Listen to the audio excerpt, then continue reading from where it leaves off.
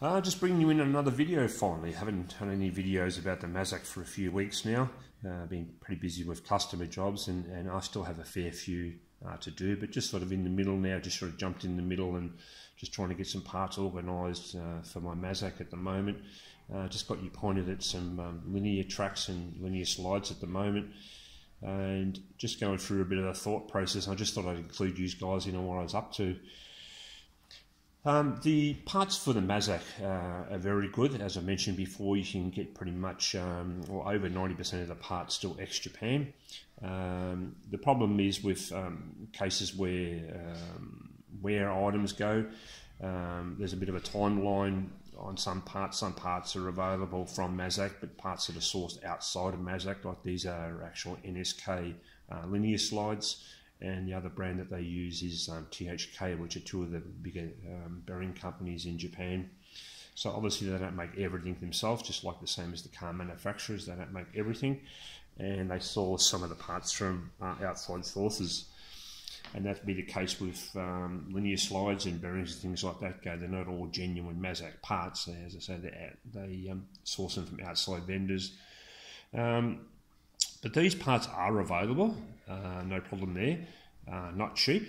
Um, probably to replace the four linear slides uh, complete um, is probably a, a, um, a shade over six thousand uh, local money, uh, which is not cheap. But I did I did sort of budget for that. I'm not saying I had the money sitting in the bank waiting to spend that money, but I did budget that in the rebuild of the machine. I did allow that I would be spending X amount of dollars to buy the machine and to rebuild the machine. That was already counted in. I'm not saying I'm going to get to $1,000 short of fixing or rebuilding the machine and then cut out and then stop rebuilding it. But of course, it is uh, hard to budget exactly what it's going to cost. But I've sort of got an estimate of, of where I'll, you know, what money I need to spend on it and what needs to be done on it. Um, but sort of getting back to the uh, linears themselves, um, it's not so much the price as a concern. Obviously, it is, but um, if you need something, you have to pay it. And as, as I mentioned, I already allowed for the fact of, of replacing the linears. But sort of getting to the point where it come to a bit of a head now with it, um, what to replace and what not to replace. I was sort of like on the run of just you know, ripping things out and replacing them, and, and it's not a concern so much of the money side of it. I mean, it is, but it's not a, a, a main thought process for deciding what to do. If, some, if something needs to be replaced, you, have got no choice about it. And especially linears, you don't want to be mucking around with those later. Once the machine's assembled, it's a major job to get in and replace linears later. Um, but the timeline to get these parts is um, approximately five to six months, which is um, ridiculous. And the reason for that is they have to be custom made because they're not a standard item. Firstly, the, the bolt centers um, of the carriage of these carriers is uh, 72 mil, whereas ISO standard for linears is 62. I have found another supplier called Hiwin, which are a Taiwanese company, which make very good uh, linear slides, and you'll probably find those a lot of your CNC machines. It's more so your smaller machines, probably like 10 horsepower or under, use um, a lot of the Taiwanese type slides and they're excellent and I can source those locally so they have got matching uh, hole centers the only difference is that they use uh, M8s instead of M12 which are in there at the moment. So what I was planning to do was uh, increase the sizes um, bore, bore them out to uh, M10 at least and um, modify the um, the machine base itself to suit by using a bush just to take up that difference in the bolt size but uh, M8's probably a little bit small for linear slides, I consider. I mean, they're not going to tear off. I mean, they're free, they're free flowing. But the thing is, is that I'd like to get at least close to what the original manufacturer have gotten. I don't have the blocks with me at the moment.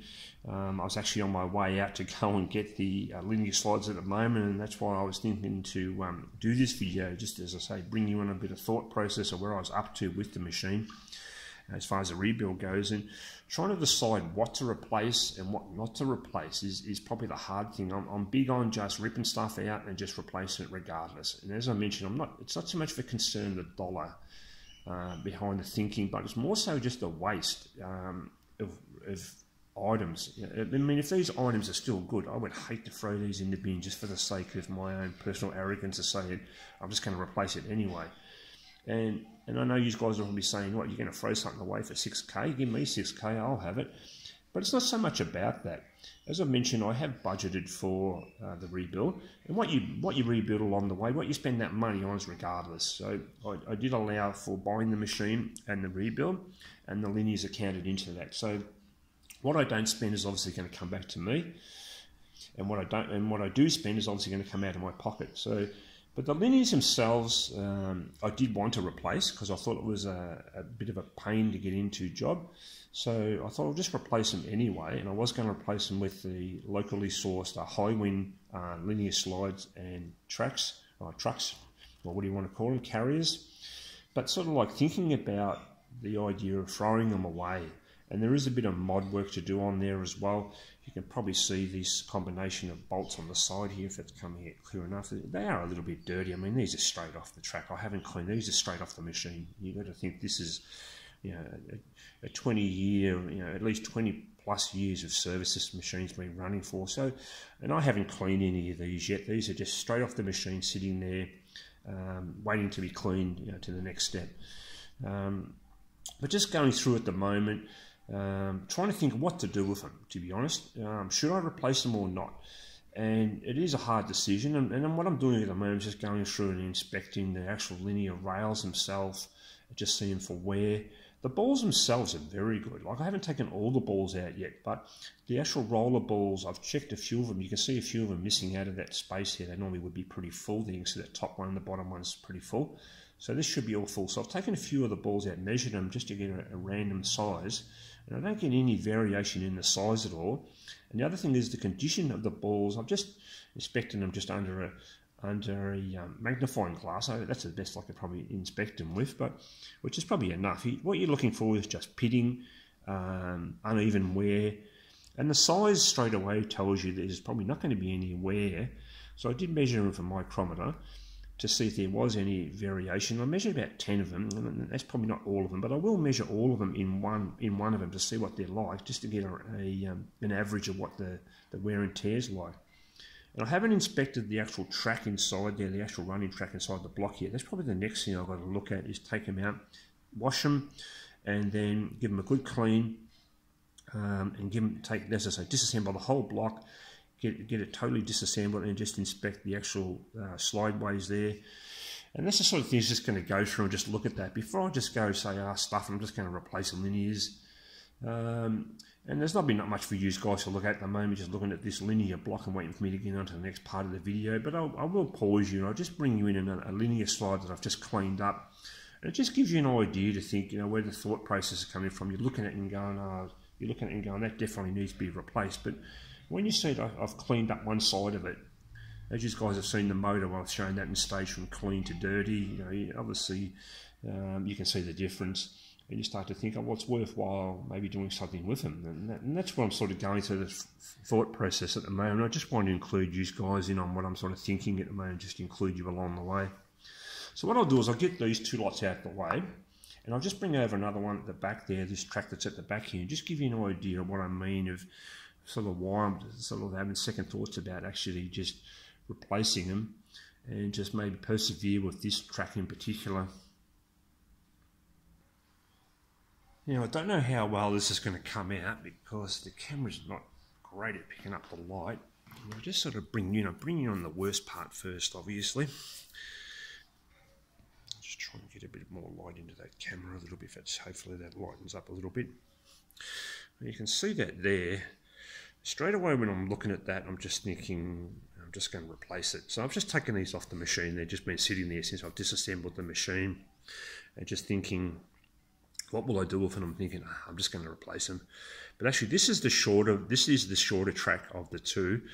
Um, the longer one, which is over the back still, which is a bit hard to get into the camera. So I thought I'd just grab these shorter ones, which will, will be getting replaced anyway with the Hiwin tracks. This, this is the upper track, I suppose you can say, which is on the, I suppose you call the X axis, and the longer version, which is over the back there, you can just see the verniers at the top of the screen there, which is the Z axis. So that's running into your chuck. And the one in front of you at the moment is the one running across the face of the chuck. Now on the side here, this is just a lot of dirt that's just sitting there. So it's just accumulated with coolant, oil and things like that. It's not obviously flushed down from the track and it's just a lot of dirt. But I'll bring you over the other one that I have cleaned up. Uh, I just want to show this one as an example of, of the before. And I'll show you the other one I've already started to clean up, the longer version, which I will be keeping. I mean, these might come in handy for a straight edge, so I won't, I won't actually bin these. I'll give these a wash, and they might come in handy for a straight edge. And linear slides are absolutely perfectly straight, um, and other than any, unless you run them over the truck or something, of course. But but you that's the actual mating surface underneath, so that for it bolts onto the machine itself. And the top doesn't give you much thought to say you know how bad the top is, but this top area doesn't actually get touched anyway. They, they sit about one mil. The linear slide sits about one mil above this surface. So this area here is not really important. It's these running edges along here, if I can get that in close enough to the camera. This running edge along here where the balls actually run in the linear. And this area down the bottom here cleans up very well, which I'll show you shortly. And this is what the other one looked like before I cleaned it up. And I'm trying to decide what to do because I'm just going to, the only way to sort of check linears Obviously, just check for wear. So the actual linear slides is going to be wear, and any pitting, scarring, things like that you're looking for really. Any running, any running, uh, bad running along the surface, um, and as I say, scarring, pitting. Uh, along the surface itself is, is what you're looking for if you're looking for uh, how to inspect the linear slides. And this isn't a lesson, this is just a, uh, staging of the rebuild. But um, you know, re rebuilding a machine, obviously, you need to. If you've got linear slides on a machine, it is a bit of a hard decision. You know, if you've if you've got noisy linears, it's an easy decision. But this machine wasn't noisy at all. Um, surprised for its age. I just thought it might have got sort of like when you're a second-hand machine, you're sort of thinking people are just going to run it into the ground, but it doesn't seem to be the case in uh, with this machine. And it would be good to talk to that same guy I brought when I bought the machine, the worker that actually ran. He actually he was the only one that ran this machine and he was very good with information. You know, he was very positive about the machine itself. It was going to be good to talk to him again, but obviously, obviously, I can't um, call up people that I don't really know and ask questions. But just sort of trying to bring in. Hopefully, that's going to come up in the lights. Now, what I've done is I've cleaned this one up. Okay, so I'll just flip it over the other side. I don't know how well it's sort of showing up, but you can sort of see this is this is so this is upside down, obviously. So this is where it bolts onto here. My hand's are pretty dirty because I've just been cleaning the tracks. I sort of jumped in the middle to show you guys. So at one end there, you can sort of see where all this crud's sitting in the track here, okay? So that's outside the running area, okay? So that's not so much, as, as we're coming along, I don't know what that little mark is just there, I just spotted in the track there, I don't know if it, so you guys are seeing it pretty much as, as I'm seeing, and as I'm sliding along there, I've just seen a little mark on there. Sorry for the average video, but just sort of include you guys on everything that I'm up to, and this might be handy, information for someone who's got linears and, and I'm in the same boat. We're trying to decide whether to replace them or not. And because I'm in the rebuild stage, um, it is part of the rebuild. But if you've got a running machine, normally linears will get noisy, and you replace them for that reason. But this is the other side that I've just cleaned.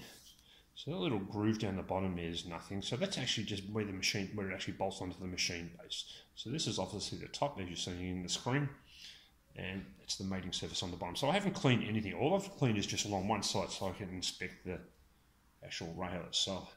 So actually the camera's not a bad one to actually do an inspection, actually better than the better than the magnifying glass. So I was inspecting it with a light and a magnifying glass. So what you're looking for is where on this lower area here where it's running, pushing down on. Not so much in the upper area, but more so in the lower. So obviously that top area is not going to get much running. But it's more so the weight of the machine is running on this, as I say, this running surface right on the bottom here. Just I got you up nice and close, haven't I? Actually, that's not a bad way to inspect that. So you can see that along there. What you're looking for is any scarring along that surface, especially that bottom running surface. Apologies for this being a bit of a, a linear learning lesson. It wasn't. It wasn't supposed to be. I'm just trying to just include you guys in on, as I say, a bit of a thought process of where I am with um, rebuilding this machine and where I'm up to, and just trying to include you in things along the way. And most people are probably switched off by now because I'm already seeing I'm already up to the 14 minute mark. But I'm thinking I, I probably will um, stick with this one. Uh, it is looking pretty good. Um, if anything changes, I'll definitely um, come back in another video and just quickly, or part of another video, and let you guys um, see what I'm up to with that. But it was a bit of a concern. I was thinking um, keep keep these or not keep them, but I can't find any any damage on the bottom here at all. So I just thought just quick, as I say, I just thought I'd quickly do this video. You know, it wasn't a bit longer than what I would like. But I just thought I'd just show you what I'm up to and just include you, as I say, a bit of thought process of what I'm doing at the moment with my machine and with the linears and so on. So the thing is with the, with um, buying them uh, from I can buy these actual blocks, uh, NSK or THK, um, as a as a part. But the problem is you've got to drill and tap these holes in here. Now the thing with THK blocks, they're through hardened, and they're hardened to in excess of 60 Rockwell, so it's pretty tough stuff. But the TH, the NSK is not so bad. They're case hardened down to about half a mil. So once you get through the top surface, you're getting back into, say, maybe along the lines. I don't know what these actually made out of, but they'd be probably around about under the, under the skin. They'd be approximately being a high carbon steel. They'd probably be about the probably around about the 40 Rockwell, somewhere around there prior to heat treat, because you'd obviously need a, a certain amount of carbon to be able to uh, heat treat them. And in this case, they'd probably be somewhere, as I guess, around about the 40 to 45 Rockwell, which is not too bad. Once you get through that hard layer, which these are, as I say, these are NSK blocks, but obviously to buy them as a replacement, I'd have to do all these drilling and tapping. These are uh, in the wrong place. So these, these are 72 mil apart, not 62. So I'd have to um, reconfigure my machine again. It's just it's just a major pain uh, to get it all, uh, get it up and running again. I don't mind doing it, but it's just it's just something I prefer not to do. That's all. Especially I've got my business to run. I can't spend huge amounts of time on this machine. It's not it's not a hobby machine. It's going to be a business machine eventually. But that'll probably do for this video. I didn't want to um, have much. I haven't got much to sort of show you guys. Let's just uh, do a video and just go through a bit of uh, thought process and where I'm up to um, and just include you guys along the way and, and what I'm doing. And, and I'll definitely let you know, in, as I say, in future videos where I'm, where I'm up to with the news. You'll see um, the different linears as it's going back together, and, and I'll just prompt you on you know what I'm doing anyway. But I just sort of just quickly include you, even though it's a bit of a longer video. Uh, include you in what I'm up to. But that'll probably do for now. This is way too long for one of my videos, and you guys have already switched off by now anyway. And I look forward to see you guys on the next one. Okay, bye for now.